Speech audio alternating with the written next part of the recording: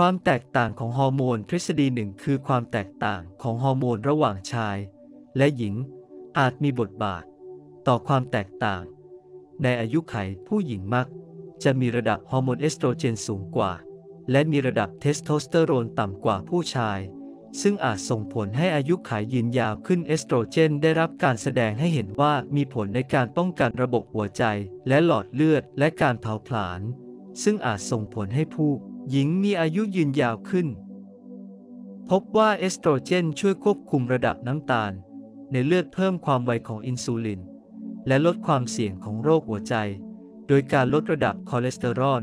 และไตรกลีเซอไรด์ที่ไม่ดีนอกจากนี้เอสโตรเจนยังมีคุณสมบัติต้านการอักเสบ ซึ่งสามารถช่วยลดความเสี่ยงของโรคเรื้อรังเช่นโรคข้ออักเสบและ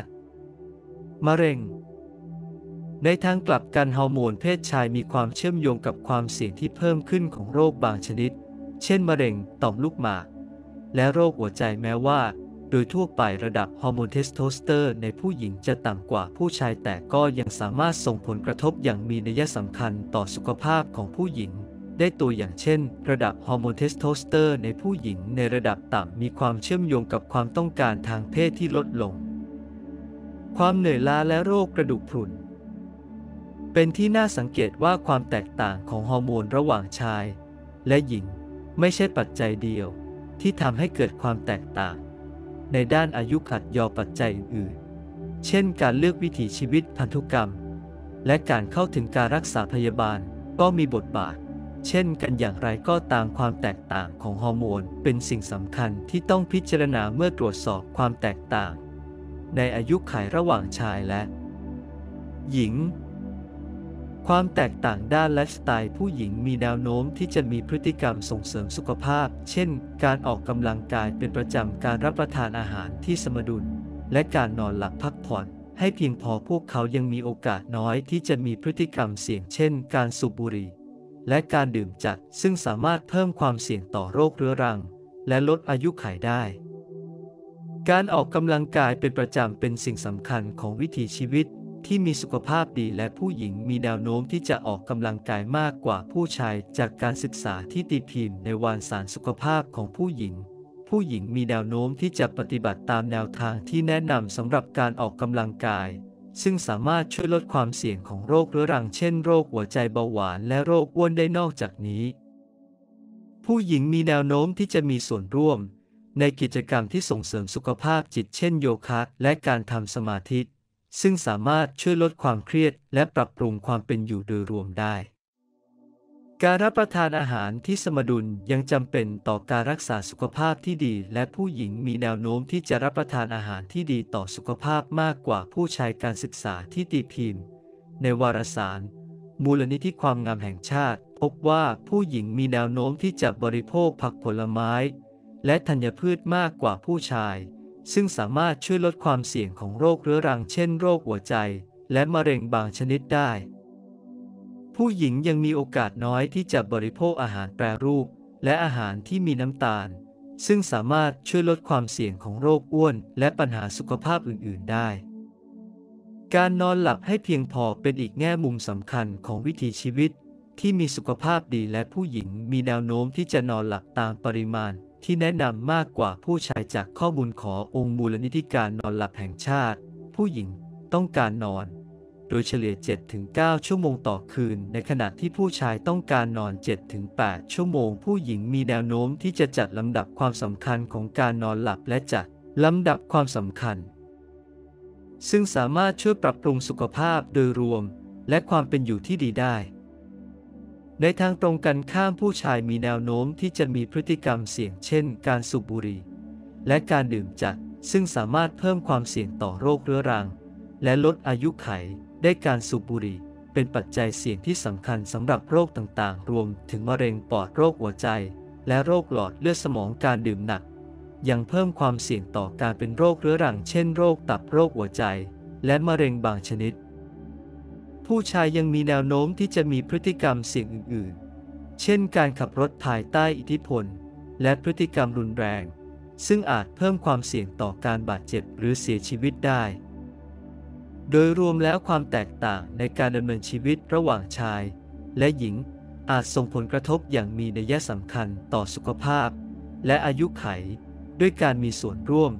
ในพฤติกรรมส่งเสริมสุขภาพและการหลีกเลี่ยง พฤติกรรมเสี่ยงผู้หญิงมีแนวโน้มที่จะมีชีวิตที่ยืนยาว และมีสุขภาพดีกว่าผู้ชาย ปัจจัยทางพันธุกรรมการวิจัยชี้ให้เห็นว่า อาจมีปัจจัยทางพันธุกรรมที่ส่งผลต่ออายุไขที่แตกต่างกันระหว่างชายและหญิงตัวอย่างเช่น ผู้หญิงออมัก จะมีเทโลเมอเรสในระดับที่สูงกว่า ซึ่งเป็นเอนไซม์ที่ช่วยปกป้องและรักษาปลายโครโมโซม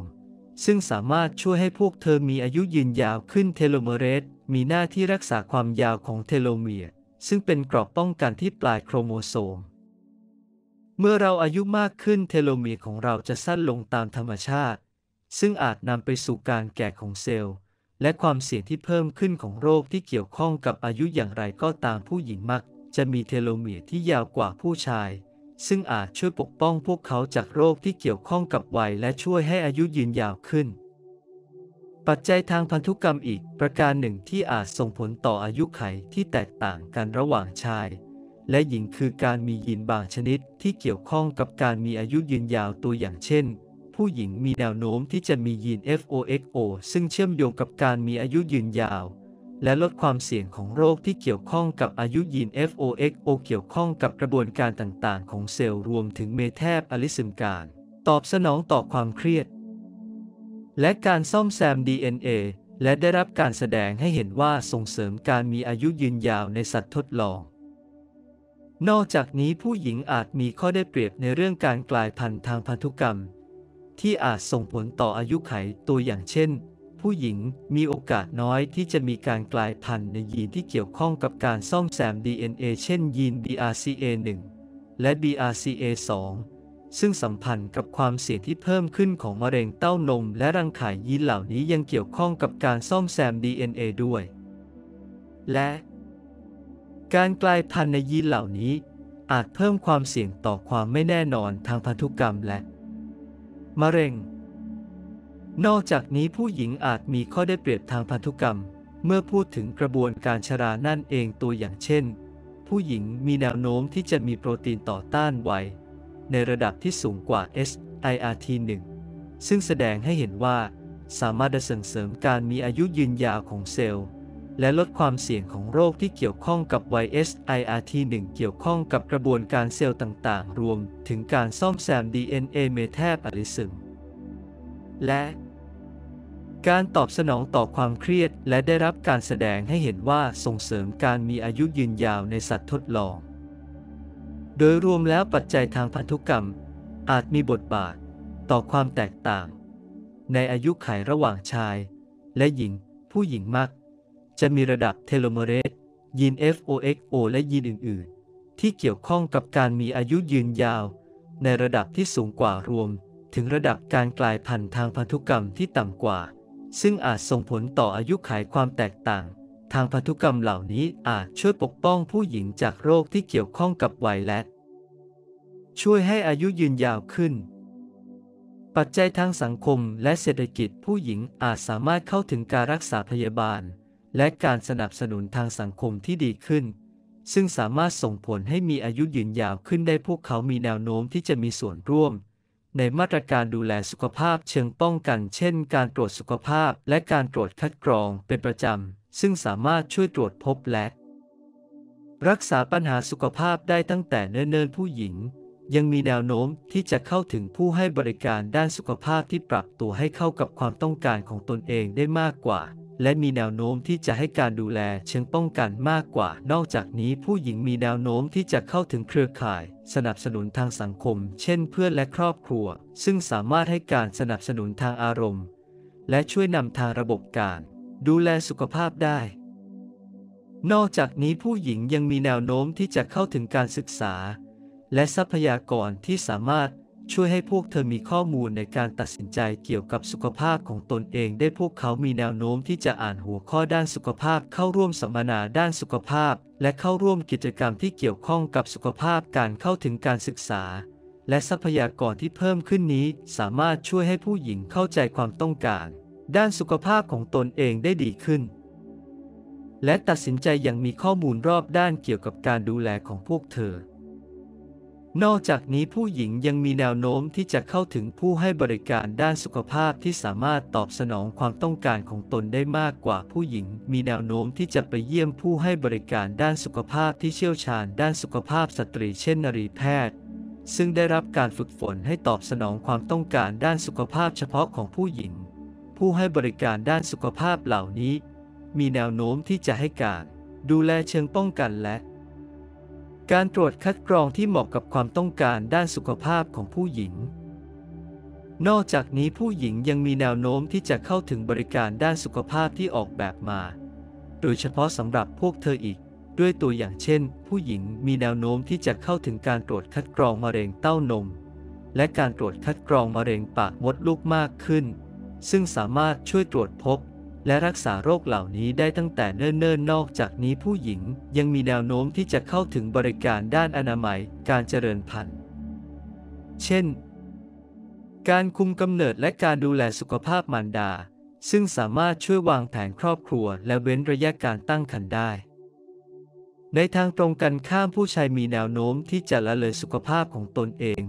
และหลีกเลี่ยงการดูแลป้องกันมากกว่าพวกเขามีโอกาสน้อยที่จะไปพบผู้ให้บริการด้านการดูแลสุขภาพ และมีแนวโน้มที่จะชะลอการไปพบแพทย์จนกว่า จะมีปัญหาสุขภาพร้ายแรง ซึ่งอาจนำไปสู่การวินิจฉัย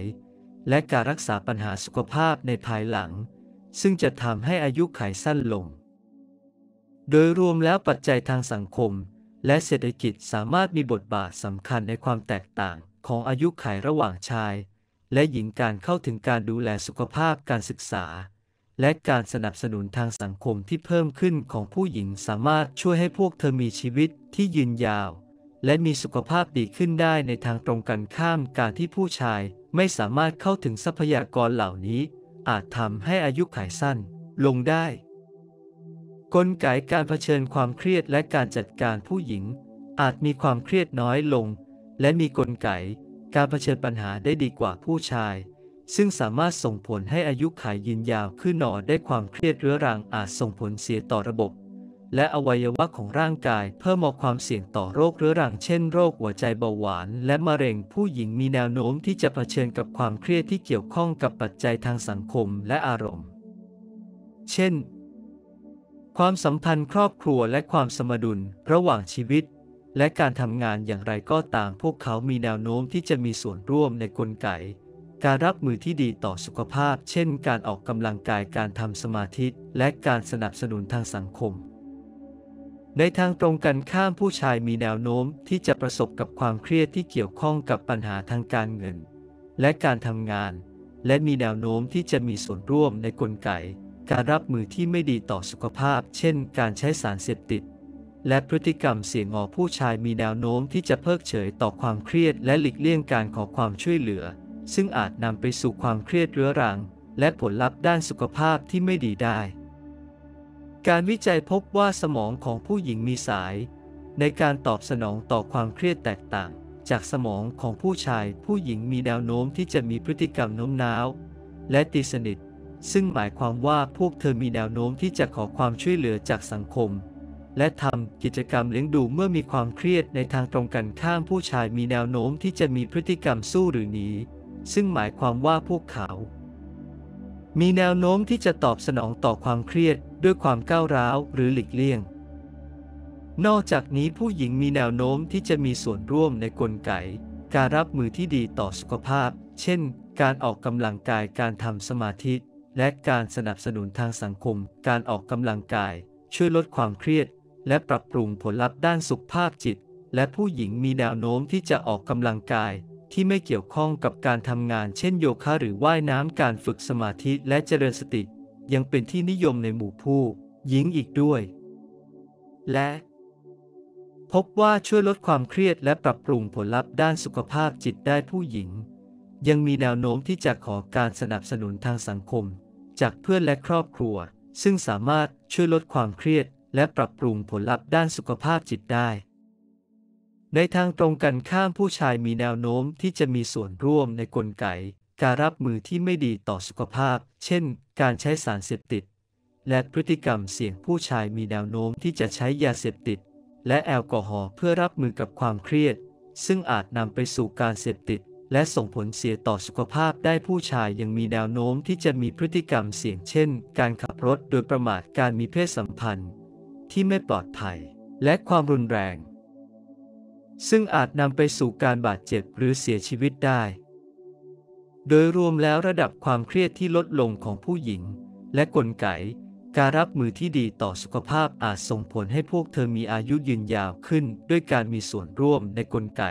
การรับมือที่ดีต่อสุขภาพ และแสวงหาการสนับสนุนทางสังคมผู้หญิง จึงสามารถจัดการกับความเครียดได้ดีขึ้น และลดผลกระทบด้านลบต่อสุขภาพของตนเองในทางตรงกันข้ามระดับความเครียดที่สูงขึ้น ของผู้ชายและ กลไกการรับมือที่ไม่ดีต่อสุขภาพอาจทำให้อายุขัยสั้นลงได้การเพิกเฉย ต่อความเครียด และมีส่วนร่วมในกลไก การรับมือที่ไม่ดีต่อสุขภาพผู้ชายอาจทำให้สุขภาพของตนเองตกอยู่ในความเสี่ยง และลดอายุขัยลง ความแตกต่างทางชีวภาพมีความแตกต่างทางชีวภาพหลายประการระหว่างชาย และหญิงที่อาจส่งผลต่ออายุขัยที่แตกต่างกันตัวอย่างเช่น ผู้หญิงมักจะมีธาตุเหล็กในร่างกายต่ำกว่า ซึ่งอาจช่วยลดความเสี่ยงของความเครียดจากปฏิกิริยาออกซิเดชันและความเสียหายของเซลล์ธาตุเหล็กเป็นแร่ธาตุสำคัญที่มีบทบาทสำคัญในการทำงานของร่างกายหลายอย่างรวม ถึงการผลิตเซลล์เม็ด เลือดแดงและ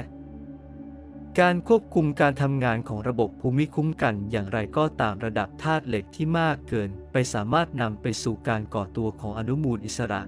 ซึ่งสามารถทำลายเซลล์ และทำให้เกิดโรคเรื้อรังเช่นมะเร็ง และโรคหัวใจได้ระดับธาตุเหล็กที่ลดลงของผู้หญิงอาจช่วยปกป้องพวกเธอจากผลกระทบด้านลบเหล่านี้ นอกจากนี้ผู้หญิงมักมีระดับการอักเสบต่ำกว่าผู้ชายการอักเสบเรื้อรังเป็นปัจจัยเสี่ยงที่สำคัญสำหรับโรคต่างๆ รวม ถึงโรคหัวใจมะเร็ง และโรคภูมิต้านตนเองการอักเสบในระดับต่ำของผู้หญิงอาจช่วยลดความเสี่ยงในการเกิดโรคเหล่านี้ได้ นอกจากนี้ผู้หญิงยังมีความเสี่ยงต่ำกว่าที่จะเป็นโรคบางอย่างที่พบบ่อยในผู้ชาย เช่นมะเร็งต่อมลูกหมาก และมะเร็งปอดอาจเกิดจากปัจจัยทางพันธุกรรม และฮอร์โมนร่วมกันตัวอย่างเช่น ผู้หญิงมีระดับฮอร์โมนเทสโทสเตอโสเตอรนซึ่งเป็นฮอร์โมนที่สามารถส่งเสริมการเจริญเติบโตของเซลล์มะเร็ง นอกจากนี้ร่างกายของผู้หญิงยังได้รับการออกแบบ ให้รองรับความต้องการทางกายภาพของการคลอดบุตร และให้นมบุตร ซึ่งอาจช่วยเสริมสร้างระบบหัวใจ และหลอดเลือด และกล้ามเนื้อ และกระดูกให้แข็งแรงขึ้น ซึ่งอาจส่งผลให้มีอายุยืนยาวขึ้น โดยลดความเสี่ยงของโรคหัวใจ และความเจ็บป่วยอื่น ๆ ที่เกี่ยวข้องกับวัย ในทางตรงกันข้ามผู้ชายมีความเสี่ยงสูง ที่จะเป็นโรคบางอย่างที่พบได้น้อย ในผู้หญิงเช่นมะเร็งตับและโรคพาร์กินสันอาจเนื่องมาจากปัจจัยทางพันธุกรรม และการดำเนินชีวิตร่วมกัน เช่น ระดับการบริโภคแอลกอฮอล์ที่สูงขึ้น และการสัมผัสกับสารพิษ โดยรวมแล้วความแตกต่างทางชีวภาพระหว่างชายและหญิงอาจส่งผลต่ออายุขัยที่แตกต่างกันระดับธาตุเหล็ก และการอักเสบที่ลดลงของผู้หญิง รวมถึงความเสี่ยงที่ลดลงในการเกิดโรคบางชนิด อาจช่วยปกป้องพวกเธอจากผลเสียของการสูงวัย และส่งเสริมอายุไขที่ยืนยาวขึ้นอย่างไรก็ตามสิ่งสำคัญที่ควรทราบคือความแตกต่างเหล่านี้ ไม่ได้แน่นอนและ ไม่รับประกันว่าผู้หญิงจะมีอายุขัยยืนยาวขึ้นปัจจัยด้านไลฟ์สไตล์ เช่น การรับประทานอาหารและการออกกำลังกายก็มีบทบาทสำคัญในการกำหนดอายุขัยเช่นกัน